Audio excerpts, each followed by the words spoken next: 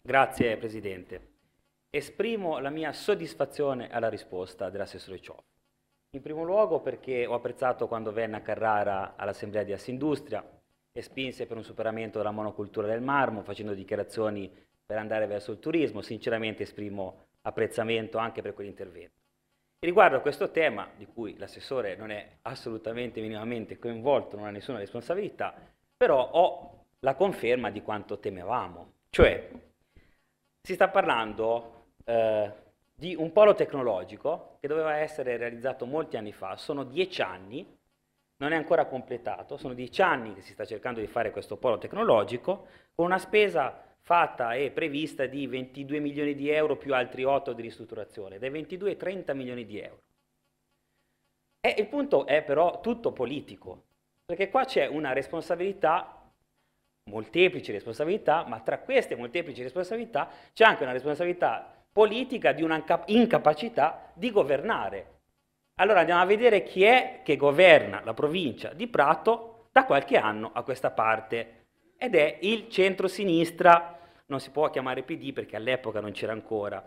Ricordo, nel 1999 vince il centro-sinistra con eh, circa il 50%, democratici di sinistra, socialisti democratici italiani, lista dei verdi comunisti italiani, Partito Popolare Italiano, democratici in Europa con Prodi.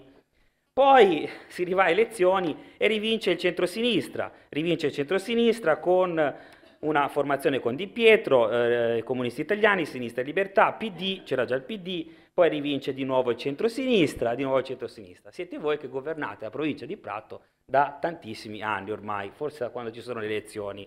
Allora mi chiedo, ci sono molteplici responsabilità, ma io e in questo luogo devo indicare il dito soprattutto a voi, a quella parte politica del PD che negli anni non ha saputo gestire i soldi pubblici, anzi tuttora continua a fare dei danni, mi viene in mente l'acquisto di Ville La Quiete all'Ars 46 milioni di euro più altri milioni di euro per la ristrutturazione. E poi voi venite a farci la lezioncina a noi, a noi che cittadini, forse anche poi inesperti, da, meno, da quasi un anno abbiamo preso una città che voi avete lasciato in cenere, l'avete distrutta, voi, e ci venite a indicare come incapaci di fare un polo tecnologico quando mi è arrivata voce che il comune di Livorno sta semplicemente chiedendo alla regione, regione fate da coordinamento, sappiamo che si deve fare tra i poli tecnologici il coordinamento, ma vogliamo che il Presidente Rossi sia un Presidente non solo dei sindaci del PD, ma di tutti i sindaci di altre forze politiche. Vogliamo confrontarci, vogliamo aspettare la relazione di Invitalia. Invitalia farà questa relazione strategica, in base a quello che ci dice faremo un polo tecnologico,